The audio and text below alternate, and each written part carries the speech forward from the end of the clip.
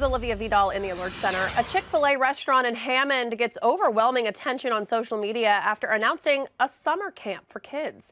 The Chick fil A there announced it's holding that summer camp at the end of July where kids will learn a variety of skills, including learning how to take a guest's order and how to bag the food.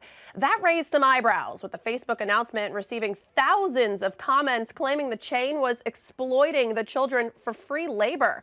The camp is advertised as six sessions to choose from, ideal for kids ages 5 through 12, and it costs $35, which includes a kids meal, t-shirt, name tag, and snack.